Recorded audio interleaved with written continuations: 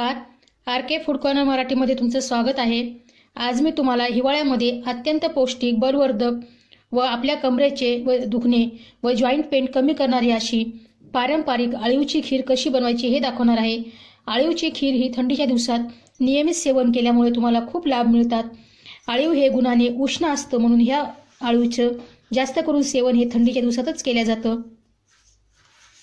इथे मी दोन चमचे आळू एक तासासाठी गरम पाण्यामध्ये भिजत घातलेले आहेत. हे दोन चमचे आळू भिजवल्यानंतर भिज दुप्पट झालेले आहेत. आता ह्या आळूची आपण खीर बनवू. आळी भिजवण्यासाठी तुम्ही नारळाचं पाणी गरम पाणी किंवा साधं पाणी देखील वापरू शकता. आळूची खीर बनवण्यासाठी इथे दोन चमचे आळीवसाठी मी तीन कप पाणी उकळायला ठेवलेलं आहे.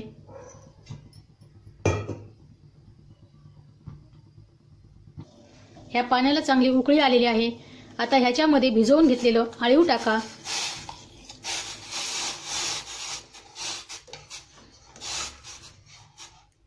सारखं हलवून त्याच्यातल्या गाठी फोडून घ्या.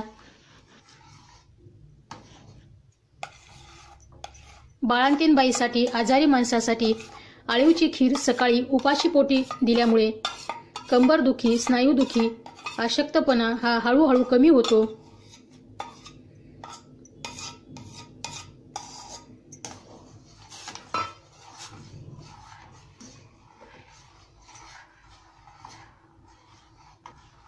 पाच मिनिटासाठी मिडियम गॅसवरती हे आळीव शिजवून घ्या.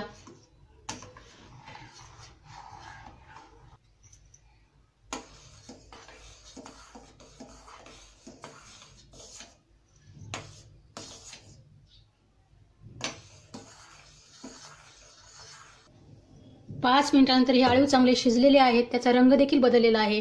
आता ह्याच्यामध्ये चार चमचे साखर टाका. इथे साखर तुम्ही तुमच्या गोड खाण्याच्या आवडीनुसार कमी किंवा जास्त करू शकता.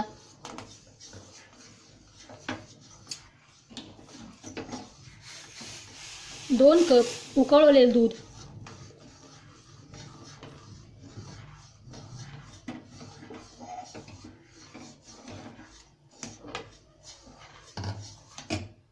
दूध आणि साखर टाकल्यानंतर ही आळीवची खीर तीन मिनिटासाठी शिजवून घ्या.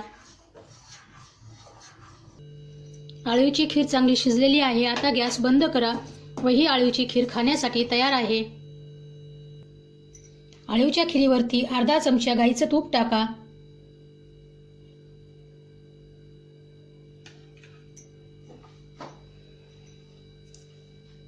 आवडीनुसार काजू बदाम टाका.